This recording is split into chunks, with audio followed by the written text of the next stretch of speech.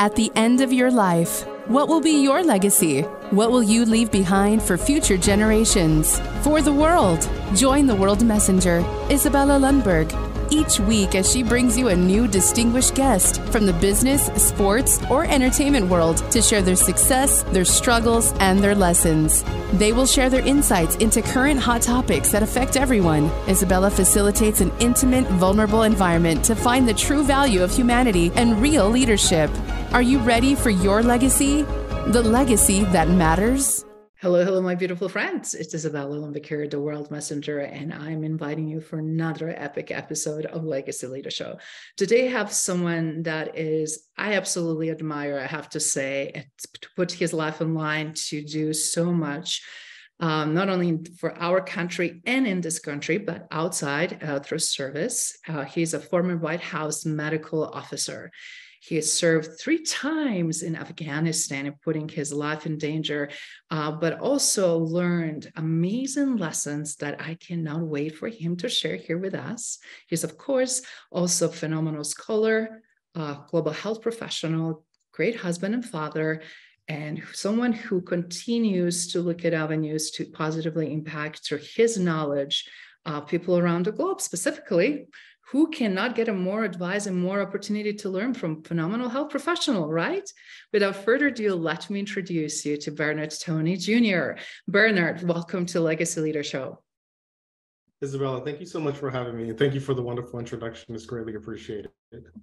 Absolutely. Thank you, first of all, for your service and everything that you did and continue to do uh, to make our nation safe and also to really influence and impact choices, decisions, uh, not only in healthcare space, but obviously around people, everything related to people, as well as obviously uh, related to safety and to um, our country and p- countries around the world. So, do you mind before we go and deep dive in, how did you even decided to go in medical profession? Who influenced you in that decision, and how that played for you? Well, you know, I I think everyone has different ideas when uh, when they are deciding what they want to do when they grow up.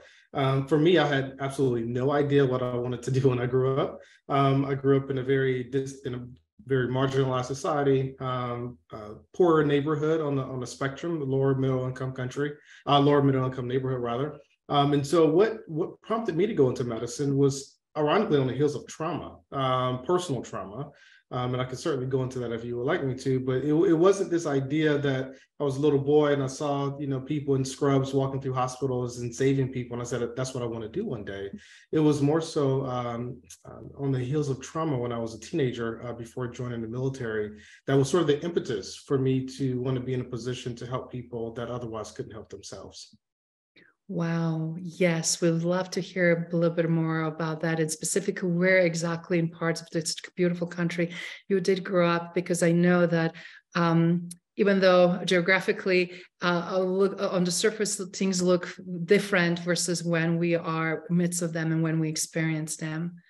Uh, so please share for audience specifically for the ones that are listening that are outside of United States and don't have idea how that just looked maybe 20, 30 years ago, not long ago, right? Right. So, um, you know, for, for your audience members, I think that it's it's pretty uh, telling how how bad gun violence is in many parts of the country.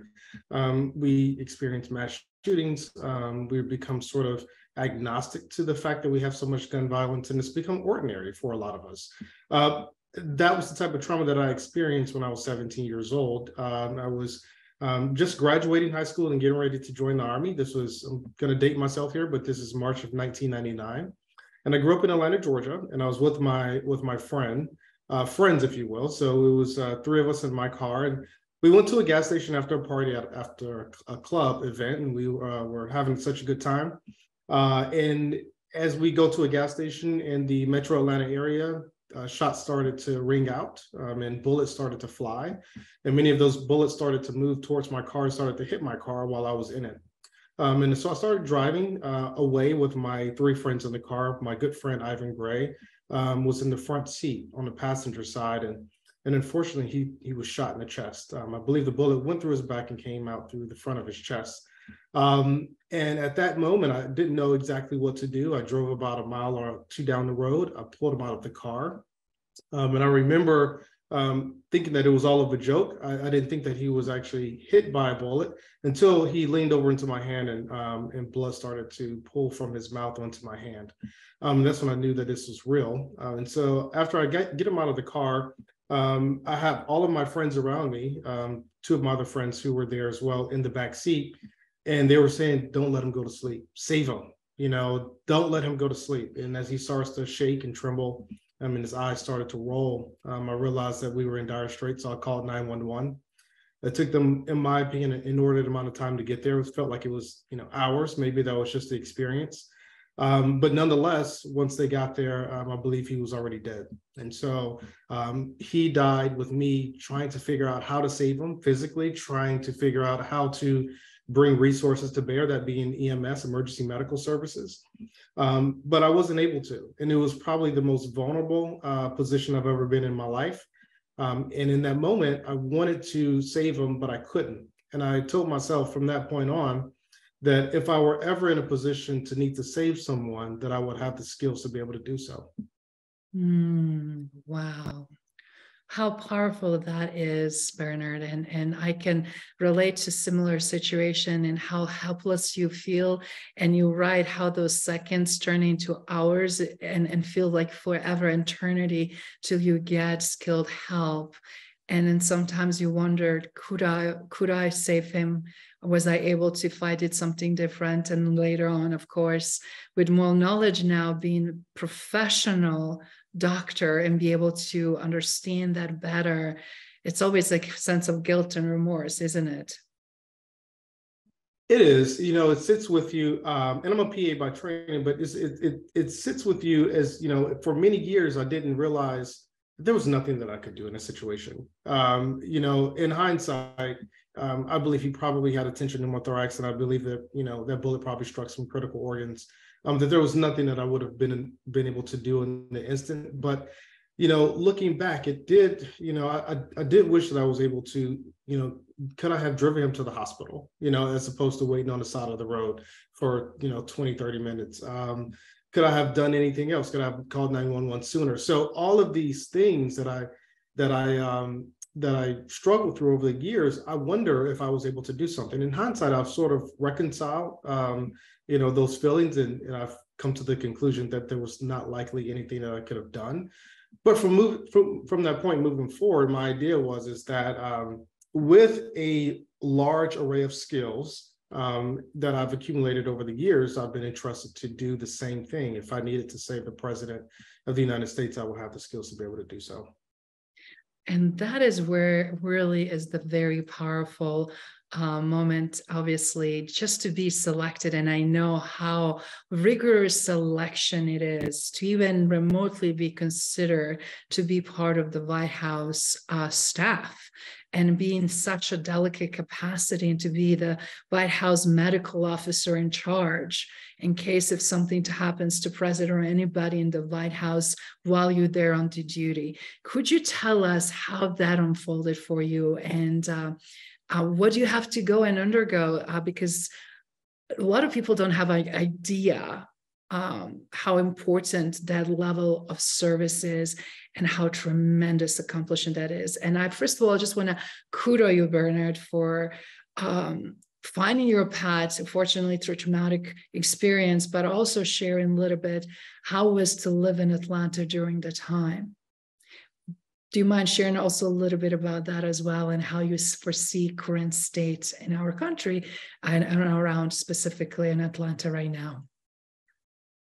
Yeah, well, I can say that Atlanta is like many other major uh, cities within our country, right? So if you go to Baltimore, if you go to Los Angeles, you'll find uh, parts of those cities that are much like the way that I grew up in. Um, and unfortunately, in those situations, there isn't a lot for people who are in the marginalized um, portions of the city, people who are poorer, people who have less resources, um, people who uh, don't have both parents in the home, or maybe they're not raised by their parents at all. Um, those were the environmental factors that I was exposed to growing up. And you really don't have a model to to base anything off of. You know, I remember, and I'm joking about this, but I remember wanting to be like the local drug dealers. You know, because they were the guys that had a nice car. They seemed to be the guys that had a money money amongst everyone else who didn't. You know, and so there wasn't a there wasn't an idea that I can somehow practice medicine or lead organizations or work for the White House. None of those things were fathomable um, when I was growing up. And so, in those areas during that time, I can tell you that people don't have a lot to look forward to. And so we look forward to um, to the things that are glorified, um, you know, through rap music or through you know through things that um, that are nefarious in a lot of ways. Um, we look for glorification in places where we think that we're able to find relative acceptance and success. Um, but that doesn't mean that we're actually doing anything good for ourselves or for our community. And I would venture to say that those elements still exist in many uh, cities, to include Atlanta. Um, most recently, I looked on greatschools.org to see what my elementary school was rated as, um, to see how well is it performing now compared to when I was an elementary school student. And it's a one out of 10 school. It is the lowest rating that you can possibly have um, for a school in the state of Georgia. Um, and that's that's not because of just teachers or just the students. There are so many structural elements there. There's um, taxes are what pay for public school systems. And so if you're not generating a lot of income around uh, those schools, then they suffer. Um, it's hard to recruit good talent when things are unsafe. You know, if kids are getting shot, if there's drugs. So it's, there's a confluence of variables and factors that um, that go into um, those types of environments. But the point that I'm making is, is not a lot has changed in many of those areas, unfortunately. I'm so sorry to hear that. And right now, as I'm listening to you speak, we had an opportunity to reflect of Martin Luther King birthday and in January to celebrate him as a national holiday. Uh, right now, we're into um, Black uh, History Month, right? And then we're really mm-hmm. looking how that looks like in the landscape of our country and nation. And we see decades um, and decades repetition in a way where we fortunately are not um, seeing much of change. And this is also a great opportunity for everybody watching and listening change start with us and we have to do better. When we know more when we hear what Brent, uh, i'm sorry bernard had to go through and how he's seeing things even today i'm sure that you have a lot of concern as a father yourself and to look at where, where we headed and also great opportunity for us to really uh, speak up and and then do something whatever we can that can really make that needed transformation and change specifically around education and future generations of leaders.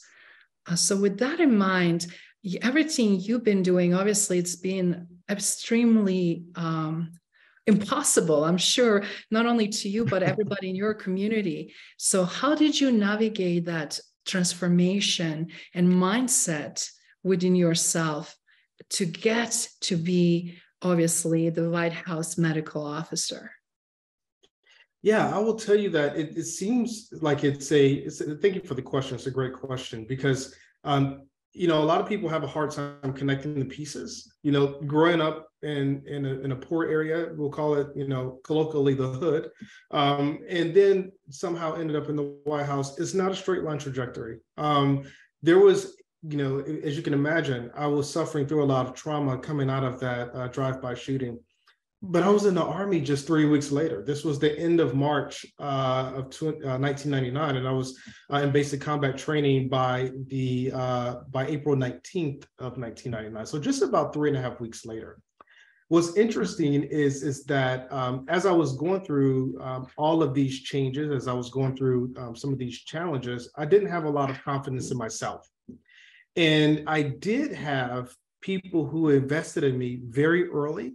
I did have people who saw something in me that I didn't see in myself, which is what I advocate for now. Is I advocate for leaders to look deep into their organizations and find talent where sometimes people don't feel like they're talented and find skill and ability and potential where people don't feel like they have that skill uh, or ability and so what i've learned over the years is that it took me about five years or so um, since I joined the Army. I joined at 17, so I was not even an adult. I was still a minor uh, when I joined the military. It took me about, I was about 22 or 23 uh, with several bumps in the road to realize that maybe I do have some potential.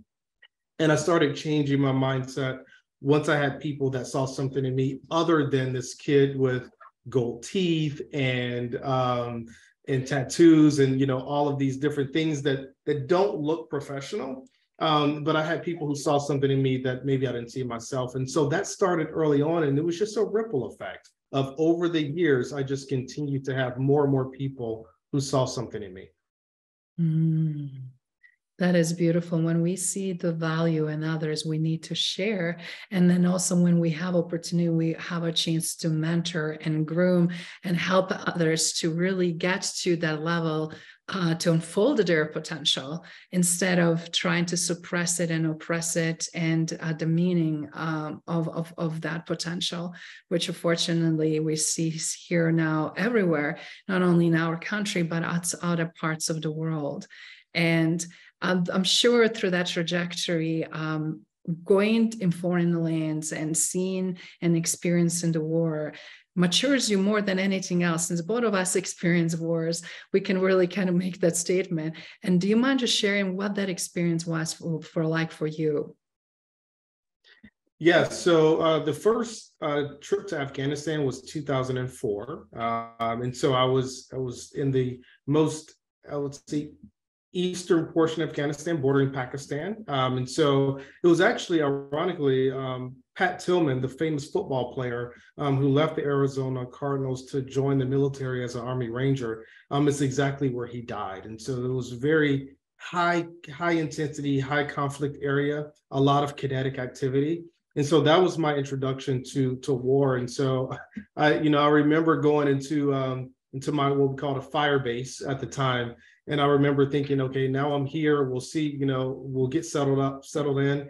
And that night we started taking incoming rockets. And I, re- I realized, you know, I might actually die in this country. Um, but it was it was something that was very interesting for me because although I was trained as a linguist and I had all these other skill sets, um, my passion was still medical.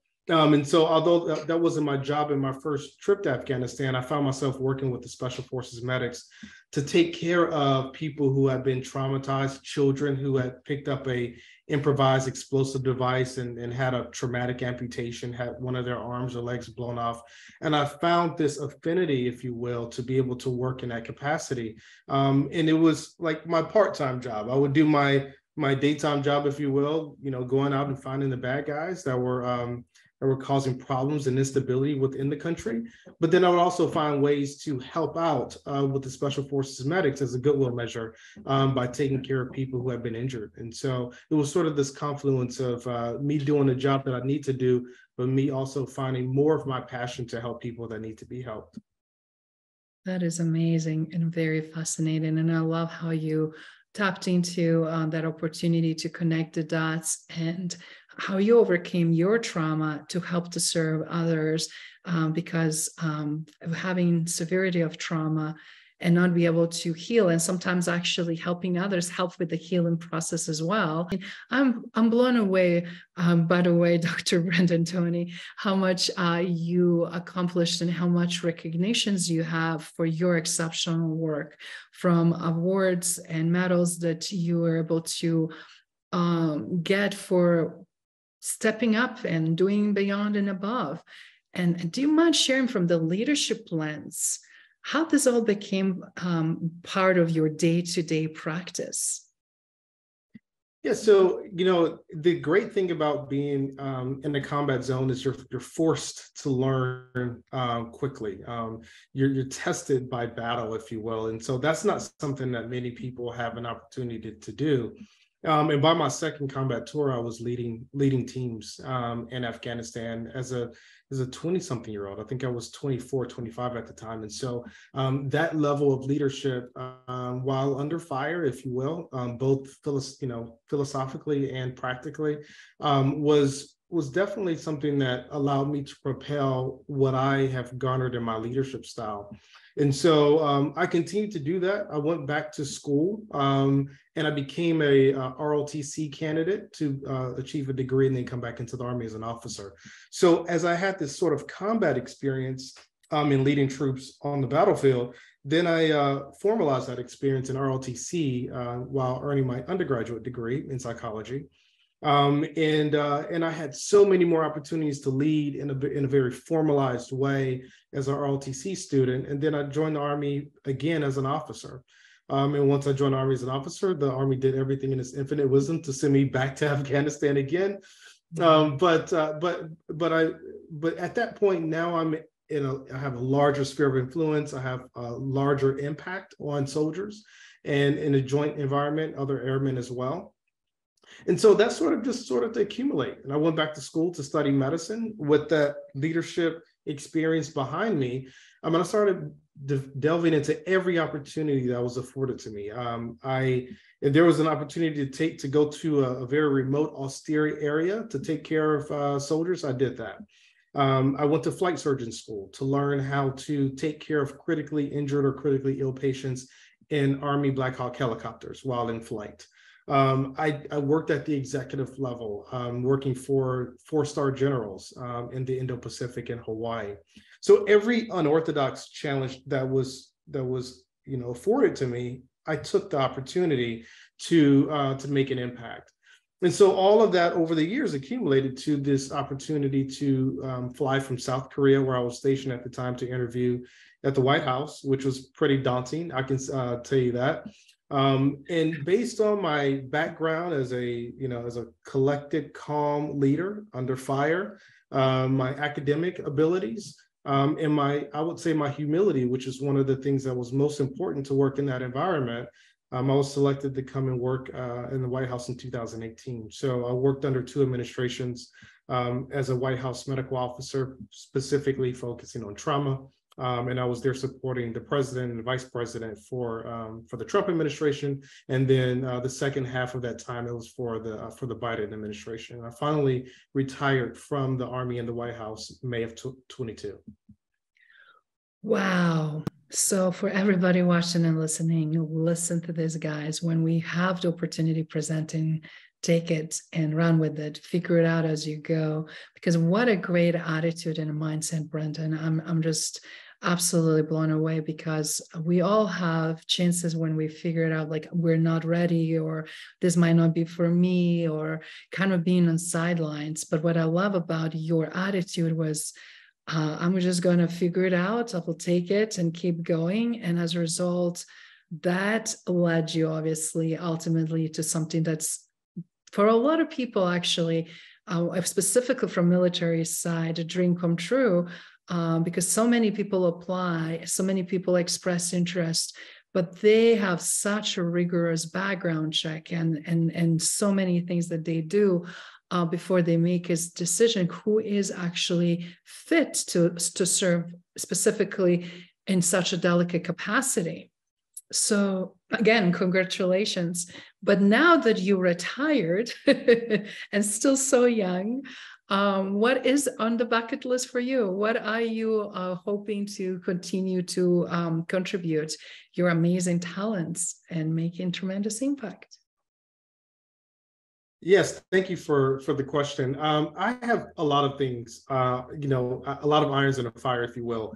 Um, I've sort of transitioned, you know, if you will, from um, from a defense perspective after working in the Department of Defense and being a soldier and and finding ways to medically protect our nation's leaders to now wanting to really dive deep into that passion to impact people who are on the lower rungs of the ladder of development in the world, if they're on the ladder of development at all. And so I guess what I'm speaking to is working in low income countries and lower middle income countries um, that have poor infrastructure, healthcare infrastructure, um, that need help with uh, with being able to uh, build their health systems and human resources for health. Um, I want to work in that capacity. And so um, as I've finished all this education and a doctorate and a uh, master's degree and then two bachelor's degrees. Now I'm finishing a master's in public health at George Washington University in, in Washington, D.C.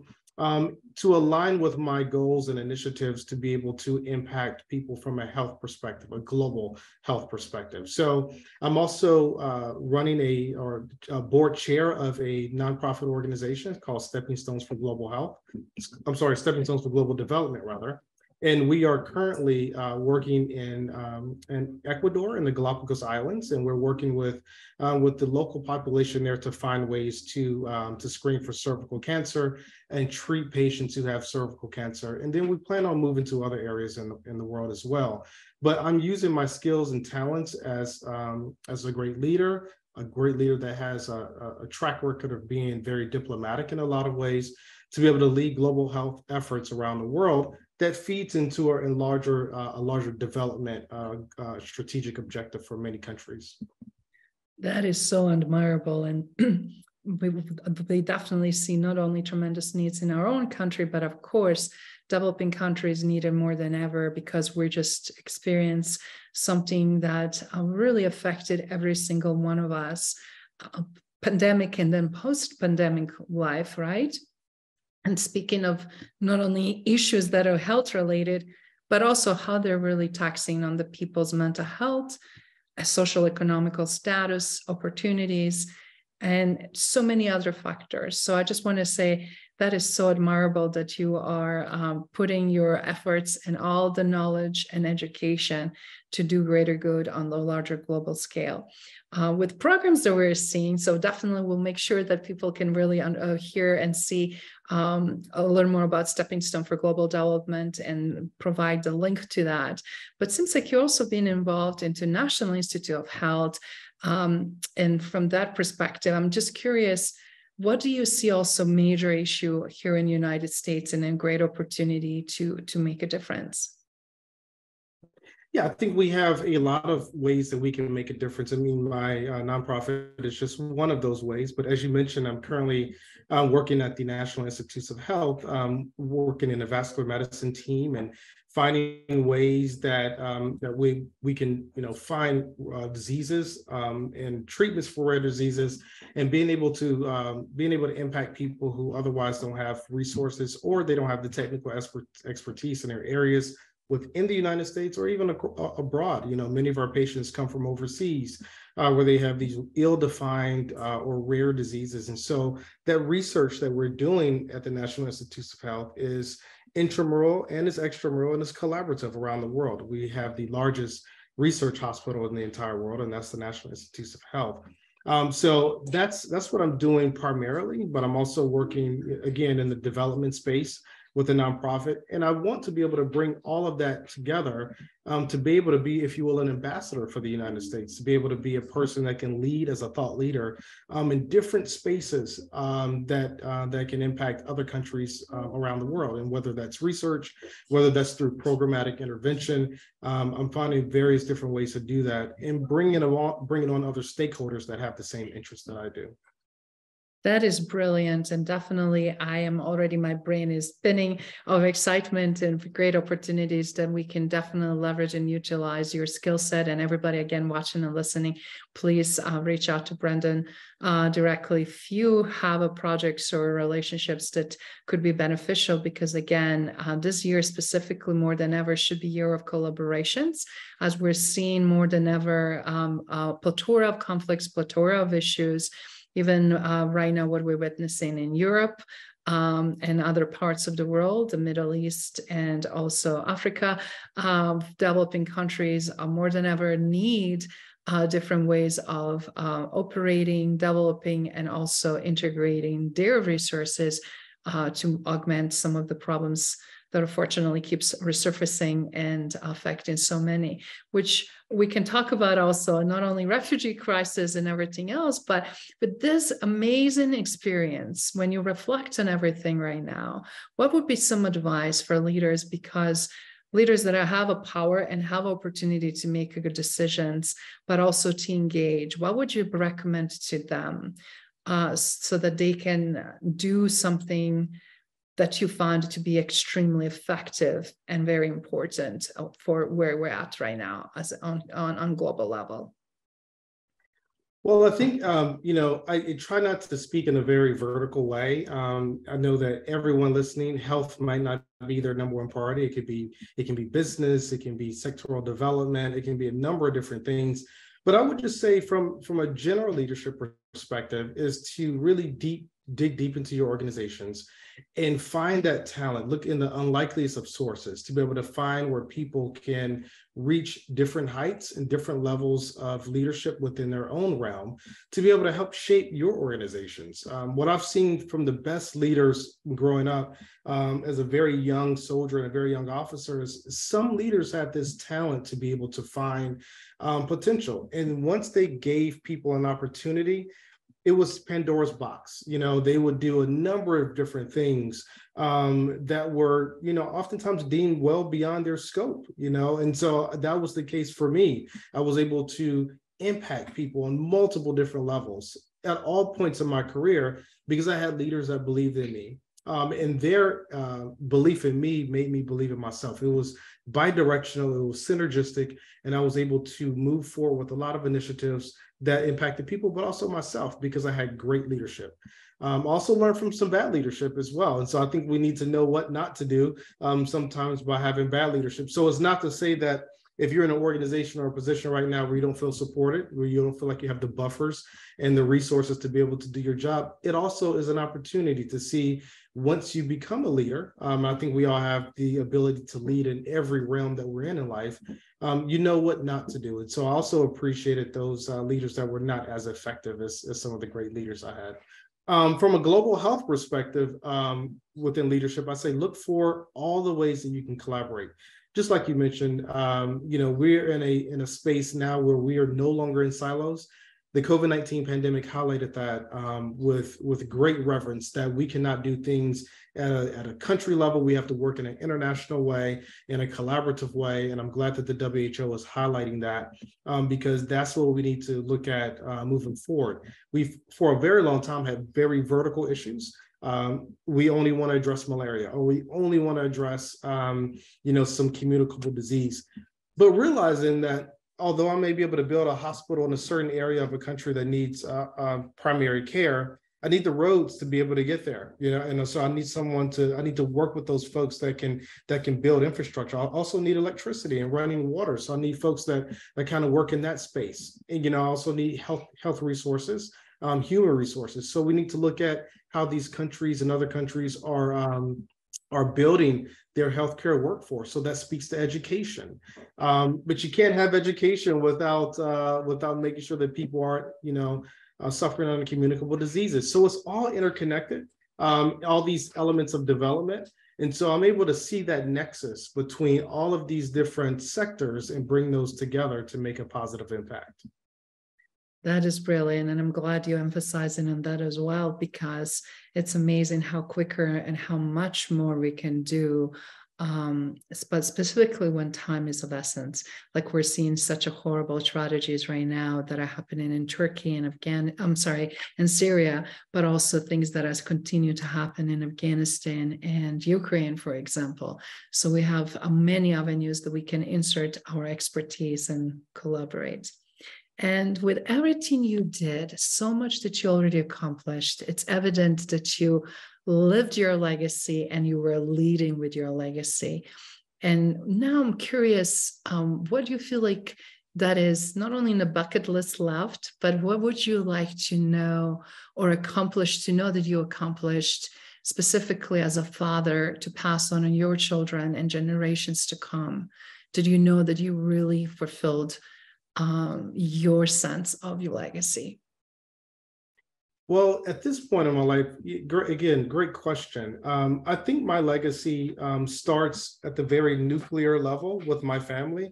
Um, most of my career has been spent moving around the world, doing a lot of different things. I've visited probably 27 countries at this point. Um, but much of that time was spent in the absence of my children. They haven't been exposed to some of the things that we've talked about. They haven't been exposed to many of the challenges that other people um, have in this world. And so, in large part, um, they live a life that I've created for them that's very comfortable. Um, but I want them to um, to be able to see what challenge looks like in different parts of the world. I want to take them on some of these global health uh, engagements that I do um, around the world, so they can have a, an appreciation for um, what underdevelopment looks like, what development looks like, and then I want them to be able to figure out how to make their impact on the world, not necessarily from a health perspective, but from their own vantage point, whatever their interest is. And so that same philosophy that I have for my children, I want to be able to reverberate that and have a ripple effect, you know, throughout my network of professionals. I want them to look deep into their resources, their expertise, and their technical knowledge to figure out ways to make an impact for other people. Um, and so it's surprising that just about every industry, um, as we've seen, um, you know, as people come together to address many of these global crises, like in, uh, in Ukraine and Turkey and Syria and others, where you can see all these different elements, this whole society approach that can come together to elevate people, not just in a time of crisis, but also um, to make people better and move them up on a development scale.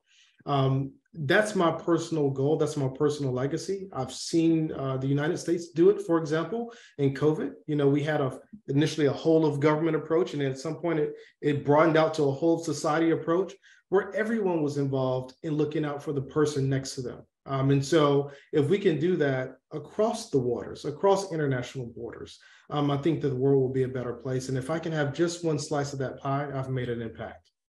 Mm, what a beautiful, uh, again, legacy. And I don't have no doubt because everything that you already accomplished, you have tremendous legacy that speaks already for yourself but I know again that you're just beginning because uh, of things you wanted to do and take it to the next level. And it's so admirable. And I love that you're going to give your children experience also to really see the third world countries or developing countries where they can have a chance uh, also to engage and others to really learn from each other. So, with that in mind, in a closing, what would be the last thing, just one thing, if everybody is struggling on the fence, not sure, uncertain who they want to be or what they want to do, or if they're reinventing themselves, what would be one piece of advice that can help them in those struggles? Because you continue to reinvent yourself and apply yourself so beautifully. And it would be great to get that piece of advice from you.